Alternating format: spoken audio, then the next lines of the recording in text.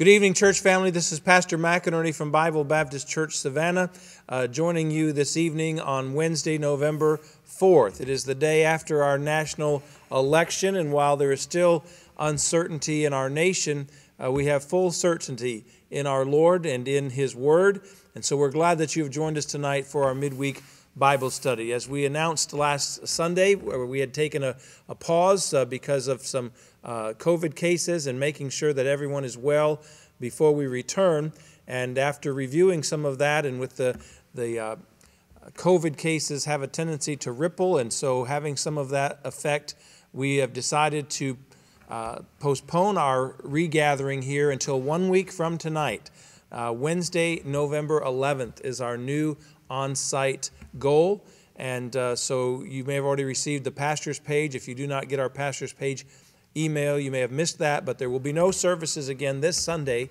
Uh, that will give us a full two weeks of Sundays uh, to be off campus before we get back together. And so I'll share more of that information in our online messages this Sunday. But just as a reminder, uh, we will be gathering back here on campus one week from tonight. Wednesday, November 11th, is our goal. Uh, we are glad that you're joining us tonight, and uh, we are uh, listening to the uh, uh, news and things that are happening around our world. And, and certainly the Bible says, in everything give thanks. And so uh, while we're still not certain about the election and the president and Georgia and all these things, uh, we want to be thankful for our nation, pray for our nation, uh, pray for our leaders, and pray for God's will to be done, as we said, on earth as it is in heaven. And so in just a moment, we're going to have a couple songs. And then Pastor Paul Long is going to be bringing our midweek Bible study. We're going to take the life group lesson that would have been taught on last Sunday, November 1st, and so that all of our groups can stay uh, on track. He's going to be bringing that as our midweek Bible study uh, in just a few moments. So enjoy these songs uh, of worship and praise, and then get your Bibles ready uh, for this midweek Bible study, and we'll see you again on Sunday.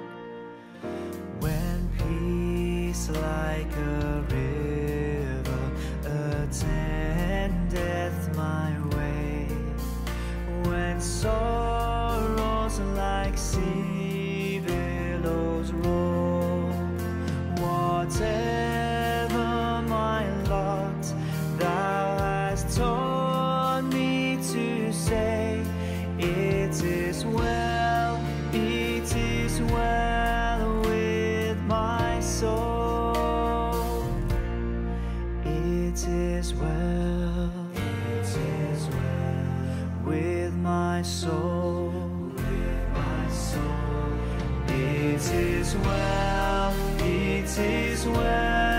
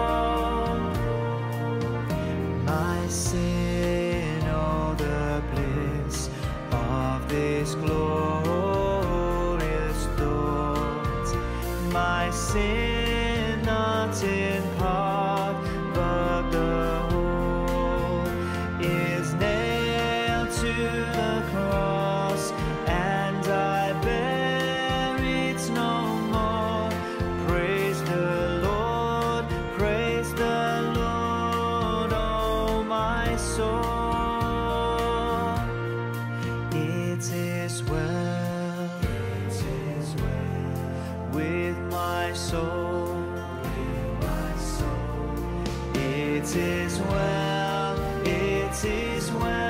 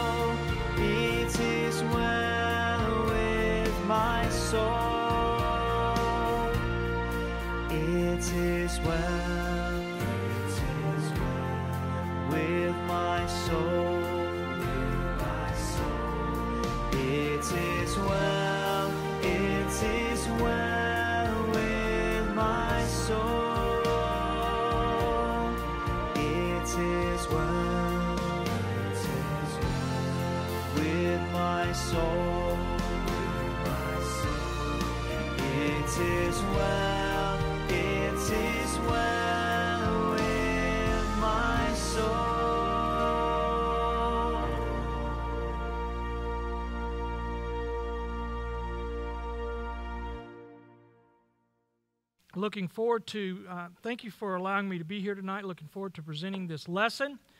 We are, of course, going to be doing lesson nine, and that is in Matthew chapter 6. Matthew chapter 6. Uh, the lesson today focuses on true worship and service and the uh, matters of the heart. Uh, we're going to be looking today, uh, Jesus will be discussing why we do what we do. Uh, not only what we're doing, but why we do it, the motivation, the attitude behind what we do. So, Matthew chapter 6, starting in verse number 1. I'm going to read through all 18 verses and then we're going to come back and discuss them. Matthew 6, verse number 1 says this Take heed that ye do not your alms before men to be seen of them, otherwise ye have no reward of your Father which is in heaven. Therefore, when thou doest thine alms, do not sound a trumpet before thee, as the hypocrites do in the synagogues and in the streets, that they may have glory of men. Verily I say unto you, they have their reward. But when thou doest alms, let not thy right left hand know what thy right hand doeth, that thine alms may be in secret, and thy Father which seeth in secret himself shall reward thee openly. And when thou prayest, thou shalt not be as the hypocrites are, for they love to pray standing in the synagogues and in the corners of the streets, that they may be seen of men. Verily I say unto you, they have their reward. But thou, when thou prayest, enter into thy closet, and when thou hast shut thy door, pray to thy Father which is in secret, and thy Father which seeth in secret shall reward thee openly. But when ye pray, use not vain repetitions as the heathen do, for they think that they shall be heard for their much speaking. Be not ye therefore like unto them, for your Father knoweth what things ye have need of before you ask him. After this manner therefore pray ye, Our Father, which art in heaven, hallowed be thy name. Thy kingdom come, thy will be done, in earth as it is in heaven.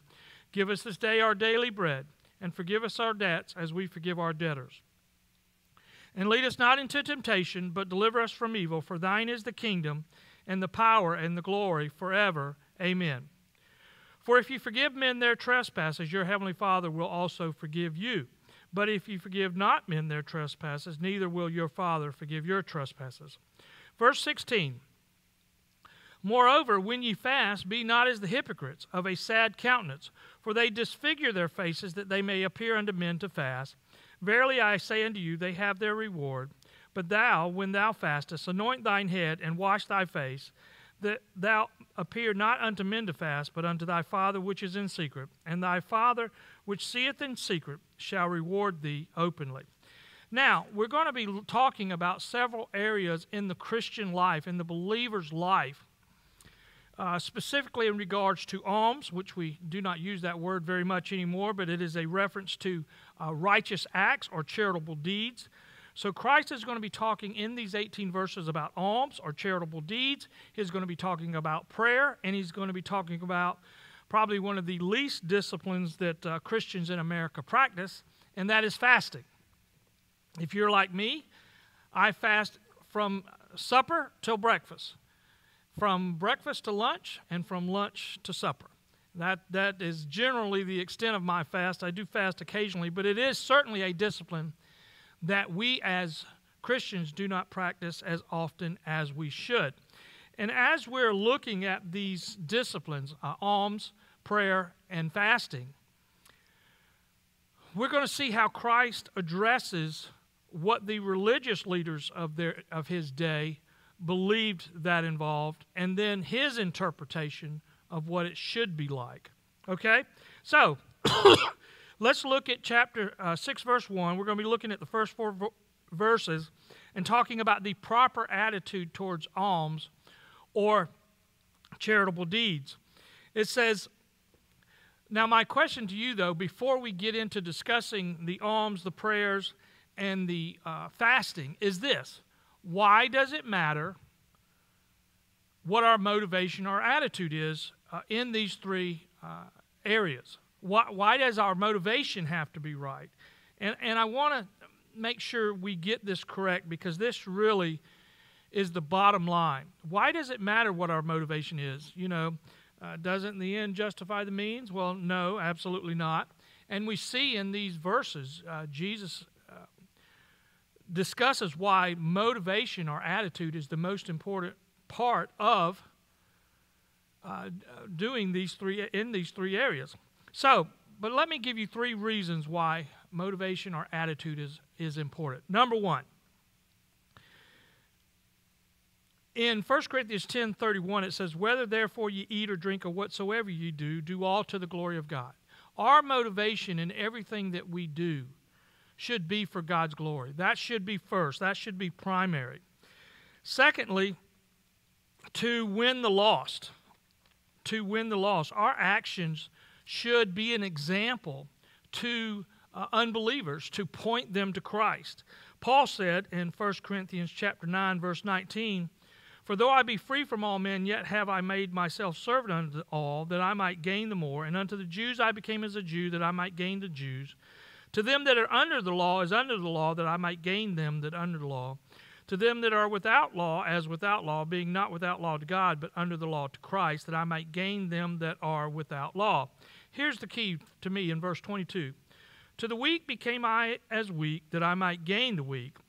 I am made all things to all men, that I might by all means save some. So our actions should point others to Christ. And finally, finally, one day we will give an account for everything we have done as a believer.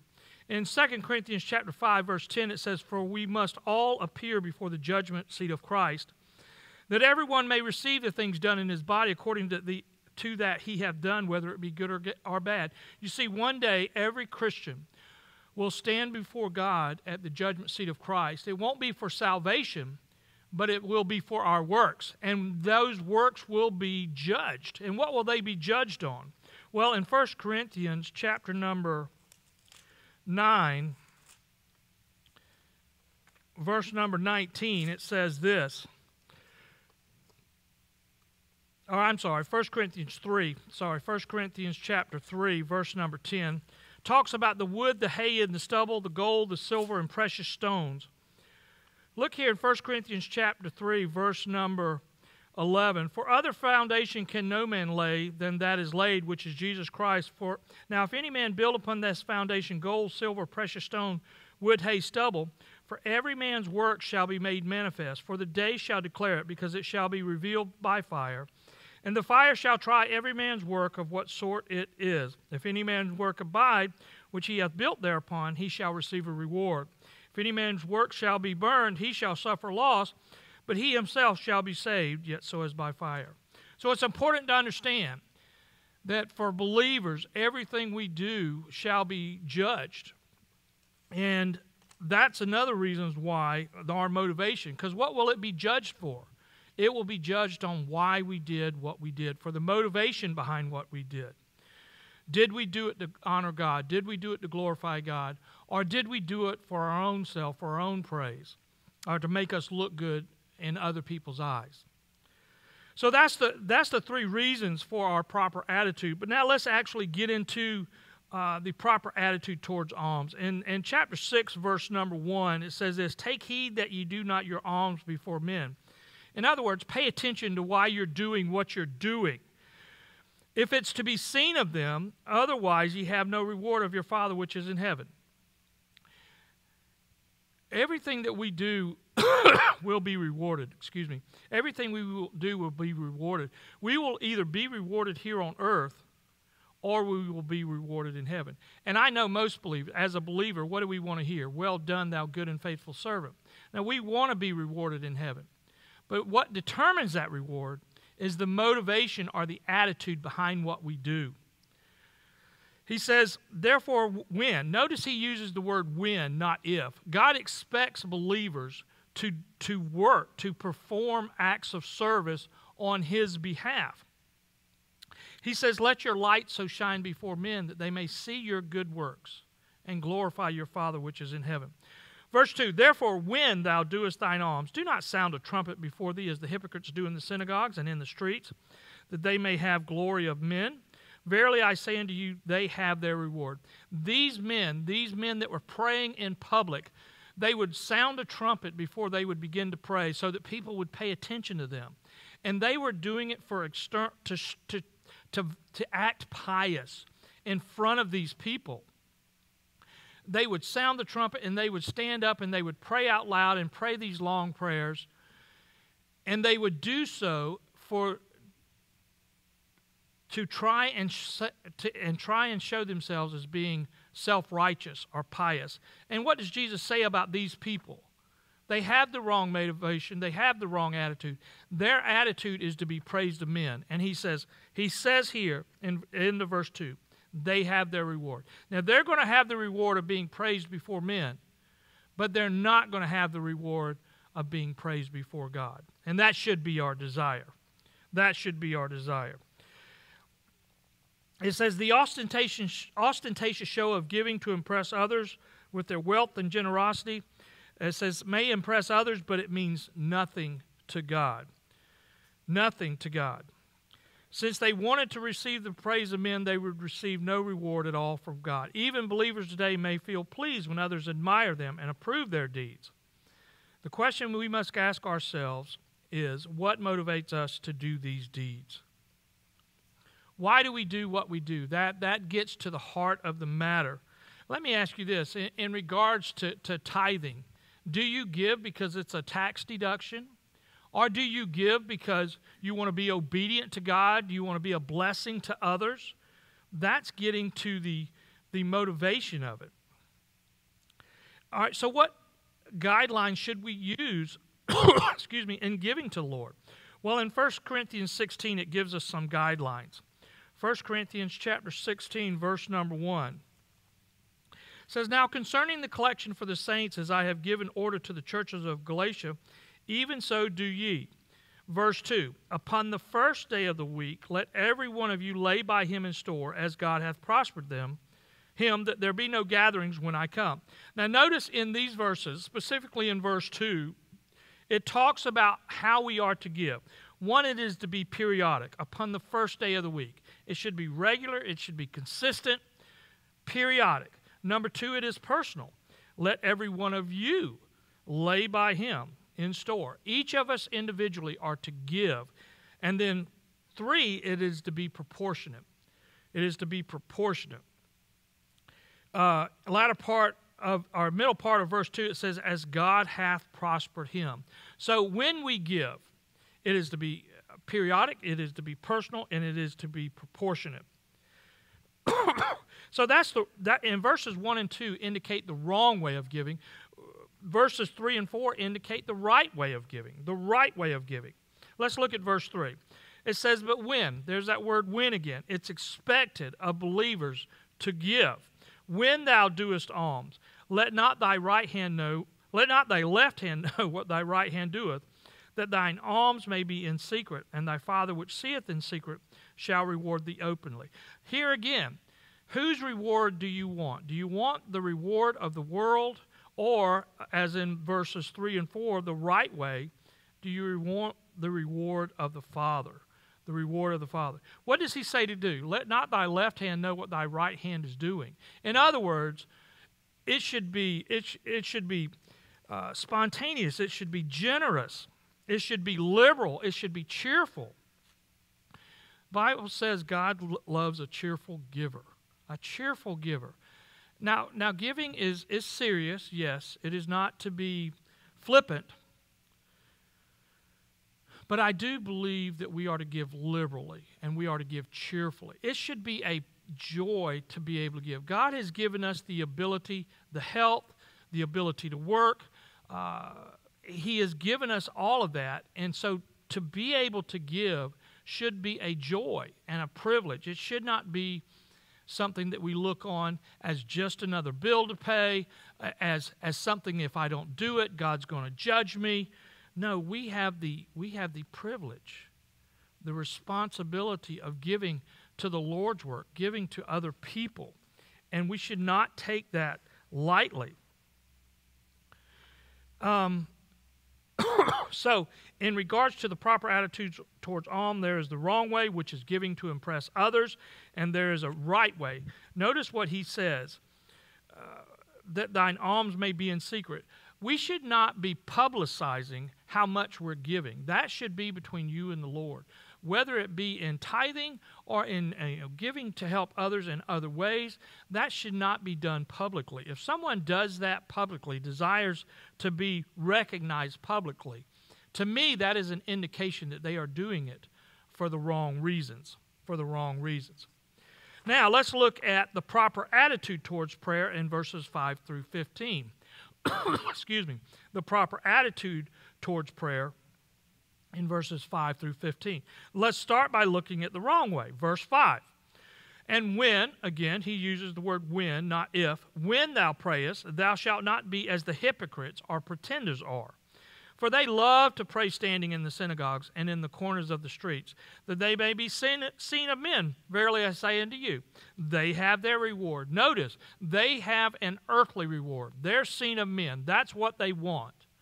That's how they want to be rewarded. But that's the wrong way, according to Christ. Verse 6 But when thou prayest, okay, but when thou prayest, enter into thy closet. Enter into thy closet. This is the right way. Verse 6. This is the right way. Enter into thy closet or thy inner room, and when thou hast shut thy door, pray to thy Father which is in secret, and thy Father which seeth in secret shall reward thee openly. When we pray, it is to be personal. It is to be between, between me and my Savior, between me and my Lord. I don't need to stand out in public. And there's nothing wrong with public prayer. We have it here in church during service. But we should not be praying for the praise of men. Our, pray, our prayer needs to be in secret. And then what does it say will be our reward? Our Father which seeth in secret, he's going to reward thee openly. He's going to reward these the openly. These are the the uh, this is the right way. This is the right way. Excuse me. Prayer is not man's attempt to change the will of God. Prayer is not is not conquering God's reluctance to answer, but laying hold of his willingness to help. Think about that. As a father, as a parent, we love to give to our children, don't we? We, we don't want to be reluctant when we give to our children unless they're being disobedient. You know, then we may withhold blessings from them. But as a heavenly father who, or, or as an earthly father who loves his children, we want to give to our children, and God wants to give to us. We need to understand that. We are not trying to pry these blessings from God. He wants to give to us. But we must come to Him the right way and with the right attitude or motivation. So, in verses uh, 7 and 8, it says, But when you pray, use not vain repetition. This is the instructions. We are not to use vain repetition, it says, as the heathen do, for they think that they shall be heard of their much speaking. Be not ye therefore like unto them, for your Father knoweth what things ye have need of. Uh, back in 1 Kings 18, when Elisha is confronting the prophets of Baal, you know, they get, he challenges them to ser- challenges the people to either serve God or serve Baal. And so he challenges the prophets of Baal to, to a contest. And of course, he allows the prophets of Baal to go first, and they get up and they start praying and chanting. And hours later of praying and chanting, their God, their false God, Baal, has not responded to them. But, but Elijah, Elijah, he gets up. It, it, it says here the prophets of Baal prayed from morning even until noon. That's at least three hours and absolutely nothing. No response whatsoever. Elijah gets up. He, he builds a separate altar unto the Lord. And then he prays 63 words. Took less than three minutes. And God responded in the form of fire coming down and consuming the sacrifice. It's not the length of the prayer that determines the heart attitude. You look at Elijah, only 63 words, and yet you saw God move. You saw God respond. And yet those prophets of Baal prayed for over three hours and nothing. It is important for us to understand that it, it, is, it is coming from the heart. And it's also important to understand that you have to be a child of God to pray to God as your Father. Now, the illustration, verses 9 through 13, the illustration, verses 9 through 13, of the right way to pray, the right way to pray. And this is often referred to as the Lord's Prayer. It is probably more accurately de- described as the disciples' prayer because Jesus is teaching his disciples how to pray. Verse 9 says this After this manner, therefore, ye, pray ye, Our Father which art in heaven, hallowed be thy name. Thy kingdom come, thy will be done, in earth as it is in heaven. Give us this day our daily bread, and forgive us our debts as we forgive our debtors, and lead us not into temptation, but deliver us from evil. For thine is the kingdom, and the power, and the glory forever. Amen. This is the model prayer. Notice in this model prayer, Jesus says first you need to address our Father. So notice, notice here, he addresses God. Our Father indicates that he, you already have a relationship with God, the Father. You're already addressing him as your Father. So you already have that relationship with him. And notice that it begins with the focus on heaven. So often our prayers begin with our focus on ourselves.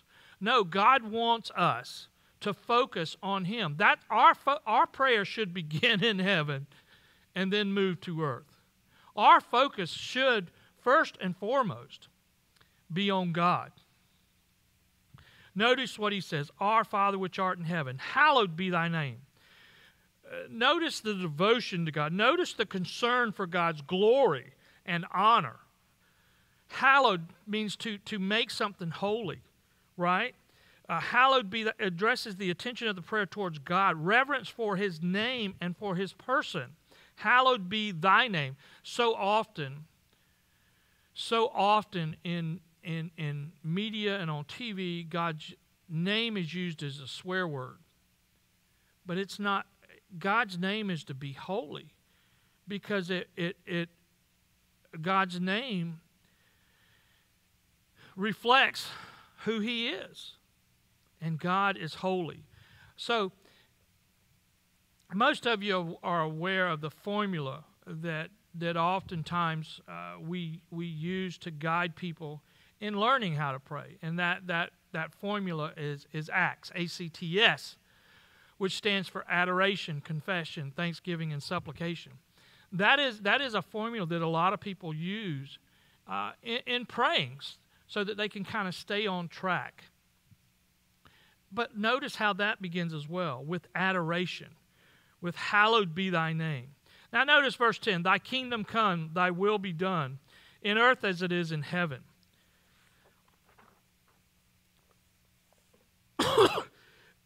They're expressing their desire to see the Lord glorified on, on earth. The disciples needed to, and then after that, Notice here in verse 11, give us this day our daily bread. Now, they weren't just talking about bread in the sense of bread that we eat, okay? That is just, that is, uh, they're talking about food, they're talking about clothing, they're talking about shelter. But notice that they are saying, give us this day our daily bread. They're just looking for God's to meet their needs that day. They're not looking for five years from now, from 10 years from now. They're, uh, they're praying for God to meet their needs that day. Now, it next goes on in the model prayer, or the Lord's Prayer, to say, Forgive us our debts as we forgive our debtors. Now, it is not that he needed to forgive others in order to earn the forgiveness of God.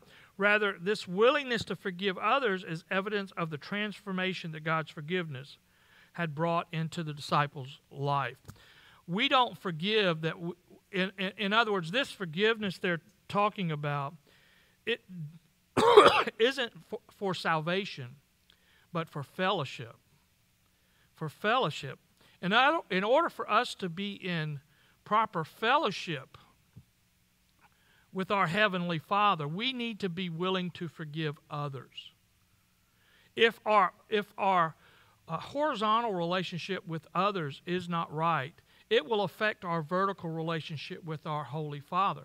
And if our relationship or our fellowship with our Heavenly Father is not right, then it will re- uh, affect our horizontal relationship with others. How can we be unforgiving to others when God has forgiven us for so much? You see, that is what we need to remember. We must be willing to forgive others because God has done so much to forgive us. It is amazing to me. Do you realize, Christians, that it was our sin that Jesus paid the price for? It was our sin that caused Jesus to leave the glory of heaven, to come to this earth, to live on this earth, this sin cursed earth, to be rebuked by people, to be beaten by people, to be to have to wear a crown of thorns on his head for nothing that he did wrong, but just so he could pay the penalty for our sins. And he did that because he loved us, so that we may have forgiveness of our sins. And if he was willing to pay such a great cost, for every sin that has ever been committed and ever will be committed, how can we not be willing to forgive others for their sins against us? We, we, we should never forget the cost that was paid for our forgiveness. And it's and so and it says here, and forgive us our debts as we forgive our debtors. We have been forgiven so much, we should be willing to forgive others for what they do to us. Notice here, uh, verse 13, and lead us not into temptation, but deliver us from evil or from the evil one. Now, what is interesting is that in Luke chapter 22, verse number 31, it says, And the Lord said, Simon, Simon, behold, Satan hath desired to have you, that he may sift you as wheat.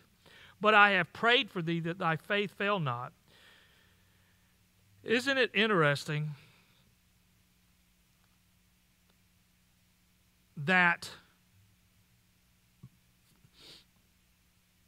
Jesus intercedes for us even today. Even after salvation in our daily lives, He intercedes for us. But for His grace today, we would be destroyed. But for His prayers for us today, we would be destroyed. The Bible says, Be sober, be vigilant. Why? Because your adversary, the devil, as a roaring lion, seeketh about whom he may devour. Satan is always attacking us, attempting to defeat us, attempting to cause us to stumble, to fall, to fail. And but for the intercession of our mediator in heaven, Jesus Christ, we would fail every day. So it, lead us not into temptation, but deliver us from the evil one. It is uh, a plea for help of God in our daily confrontation with the temptation to sin.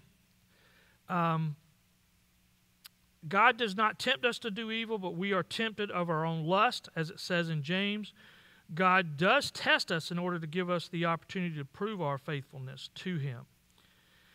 And then it closes the, the uh, imperative here in verses 14 and 15. The imperative in verses 14 and 15 says this For if you forgive men their trespasses, your heavenly Father will forgive you. But if you forgive not men their trespasses, neither will your Father forgive your trespasses. And again, this is a reference to uh, the fellowship between a believer and God, not salvation. It is a reference to the fellowship we want to stay on short accounts with God. We want to keep that fellowship strong. Now, once we are saved, that relationship may, will never be broken. It's important that you understand that. They're not talking about salvation here, they're talking about fellowship. I have three sons. They will always be my sons. There is nothing they can do to change that. They may get mad at me and change their last name. Legally, they could do that. They may get mad at me and never come see me again. They can do that. But biologically, they will always be my children.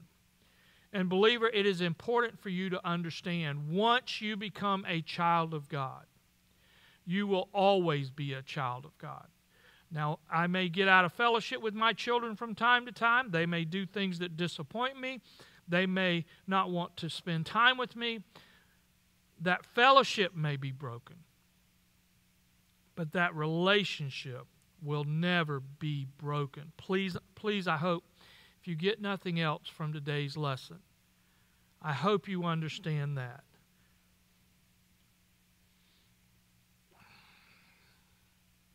Now let's look at a discipline that is probably the least practiced among Christians here in America, and that's fasting. That's fasting. Verse 16 Moreover, when ye fast, be not as the hypocrites or pretenders of a sad countenance, for they disfigure their faces that they may appear unto men to fast. Verily I say unto you, they have their reward. There's that formula again. Uh, when they are fasting for people's praise, they have their reward. It's an earthly reward. Notice verse 17, but thou, but you, believer, but you, Christian, when you fast, when thou fastest, anoint thy head and wash thy face, that thou appear not unto men to fast, but unto thy Father which is in secret and thy Father which seeth in secret shall reward thee openly. Just as when you pray, you are to go into your inner room, into your closet, and pray secretly, and God will, will reward you openly. So when we fast as believers, we are to fast secretly, and God will reward us openly. In that day, the Jews, when they fasted, they would, they would, their appearance would be, um, would be wrong. They would, they would attempt to look like they were fasting. They, their facial expressions would be sad so that they were fasting, so that people would, would understand they were fasting. Their clothes would be unkempt, would not be, would not be sharp. Okay? They would, they would look like they had just rolled out of bed they, their appearance would not be uh, good because they wanted to appear to people to be fasting so that they would people would look at them as being pious. It is it says here that in jesus' day mondays and thursday were most commonly set aside for fasting. To make their fasting evident some individuals would have tried to appear sad. Human praise would be their reward. But Jesus said, in contrast, Jesus instructed the people to have a happy appearance while fasting. They were to evidence joy and prosperity by taking the customary care to give a normal uh, appearance. Only God would know that the person would fasting. The fasting would then be a gift to God, who would later reward the fasting person. That's the right way in verses 17 and 18. Don't put on a show don't put on a show for others that you're fasting. God says, make your appearance normal. Make your appearance look like everybody, like, like it's a typical day. And if you fast secretly, you will be rewarded openly by God. So, why do we need to fast? Well, there's many reasons. One, uh, fasting is used most often, I think, to determine God's will in a specific situation. Uh, I know when, when, when I was praying about coming on full time here at Bible Baptist Church as an associate pastor, I fasted because I wanted to determine if it was God's will for me to accept the job, to come on here full time. Um, it, it, is a, it is a serious step that you as an individual take to help understand God's will for your life. And it is not, it, it is not something to be done flippantly, it is to be done seriously. I, um, I know it is a forgotten discipline in most Christian circles, but I think it is one that we need to implement more and more. And I think we're going to need to implement it more and more as um, we see our country drifting further and further away from God. We see Christians coming under more persecution. I think it's going to require us to fast, and to, to pray, to discern God's will for our life. We've had it easy for the most part as believers uh, here in America, but that is changing. So, as we look uh, back over this lesson, it's important as Jesus addresses three specific areas in a believer's life where he needs to make he or she needs to make sure that their motivation and their attitude is right in the area of alms uh, there is the right there's the wrong way of giving to others and that is to have the praise of men. And there is the right way of giving to others and that is to do so secretly. Um, in prayer uh, there is the wrong way of praying that is ostentatious you know it, it, it, just me personally when when someone is praying publicly and they start going into eschatology and numerology and and transubstantiation and they start bringing out breaking out these big words in their prayers I, I, I struggle with that a little bit as to where their heart is. Now, obviously, I can't see their heart. I can't know. I can't judge. But just because they know they pray these big words in their prayers is no evidence that they're close to the Lord. There is a right attitude, there is a wrong attitude to have in prayer. And we need to uh, have the right attitude. Uh, in addition, of course, we talked about the just recently about the wrong way and the right way to fast. And I hope that in these three areas we see that God is looking on the on the heart. In 1 Samuel it says man looks on the outward appearance, but God looks on the heart. And I hope we understand why it is important to have the right motivation. One, to glorify God, as I mentioned earlier. Two, to be an example to the unsaved, to win the lost.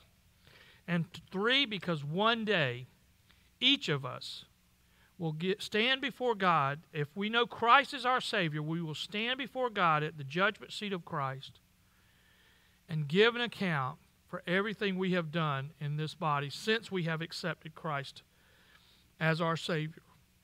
And I hope that you, like, like I, and like most Christians, we want to hear those words, Well done, thou good and faithful servant. Thank you for allowing me to teach this lesson today. And I look forward to when we will be able to gather together back at this church uh, and uh, worship and have Sunday school. Thank you. God bless.